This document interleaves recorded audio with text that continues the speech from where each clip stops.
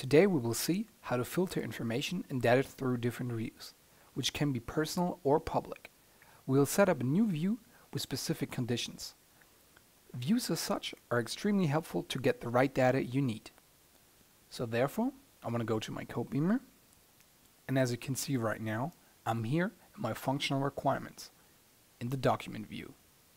And when I go here with my mouse to the right side, I have the possibility to edit this view or even to create a new view.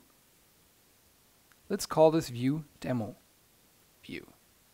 And this little checkbox, when it's marked with public, it is, this view will be public for all its users in the project. But if I unmark this one, this view will be only accessible by me.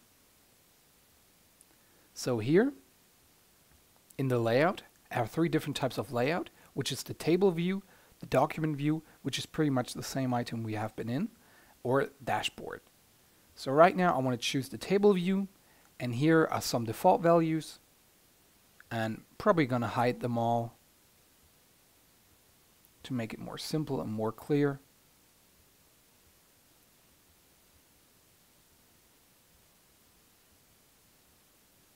Okay, so right now we will have the table view with the following columns, the ID, the tracker, the business value, the summary, the status, type, complexity, and reach coverage.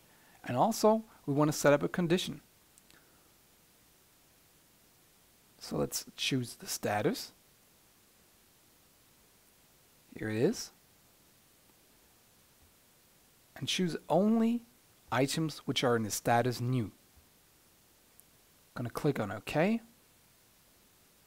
Gonna click on Save. And right now the Codebeamer only brings me items which are in the status view. So as I said before, filters are a really nice feature to bring you the exact data you were looking for. Thanks for watching.